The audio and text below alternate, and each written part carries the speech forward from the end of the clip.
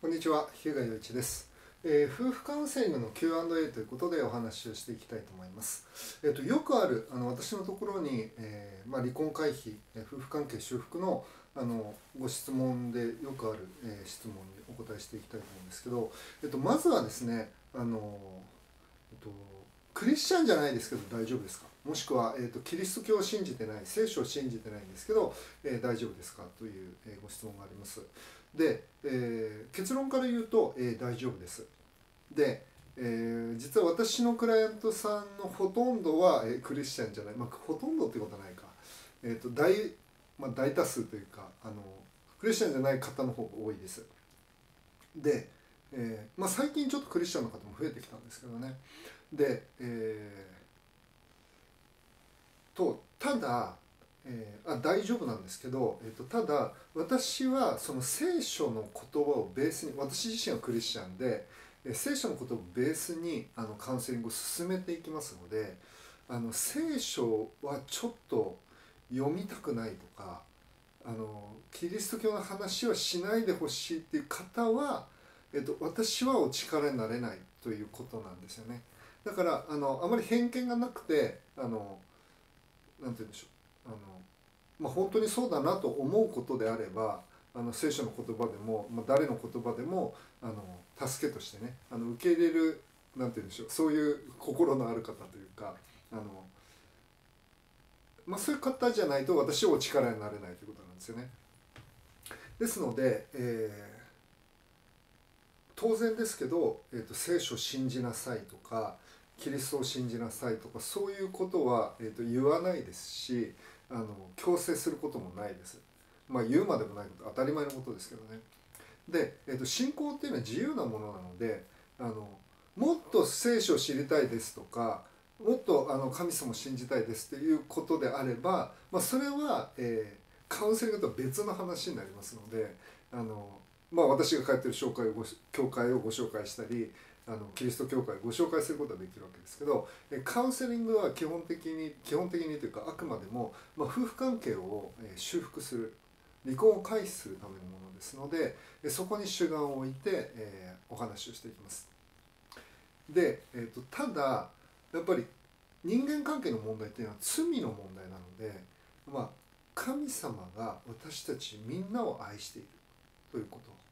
そしてただ私たちは愛されているけど私の心の中には罪があって、まあ、それを解決しないと夫婦の関係は解決しないんだ、まあ、それがあの聖書のあの教えなわけですね。ですのでそういうことはお話しします。でまああの聖書の言葉を引いてあのお試しカウンセリングでは聖書をまず差し上げてプレゼントしますのであの新約聖書をプレゼントします。でそういうのがあの嫌だというか、まあ、ちょっとあの怖いのでとかあのそういうのはやめてほしいということであれば、まあ、あのお試しカウンセリングの時点で申し込まれない方がいいと思いますね。あのお試しカウンセリングもあの無料ではないので。ということです。えですのであのクリスチャンである必要はない。そして、えっと、クリスチャンじゃない方々も、まあ、夫婦関係を修復して、まあ、今夫婦関係あの立て直し中というかあの、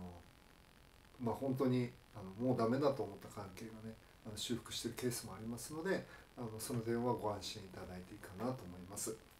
で、えーちょっとこれも補足、まあ、打足かもしれないですけどあのただ、えー、とそういう私のカウンセリングを受けてあ神様の愛をもっと知りたいとかイエス・キリストをもっと知りたいあの信じたいっていう人もいます。でそれで信信じてクリスチャンになった人もいます。でそれは私にとってはもうすごい嬉しいことですよね。なんでかっていうと自分がクリスチャンになってあのもうしょもう言葉で言い表せないぐらい幸せですのであの幸せをこの幸せを全ての人にはもらってもらいたいっていうふうに私は願ってあの生きてますので。あのただそれはあのマストでもないしあの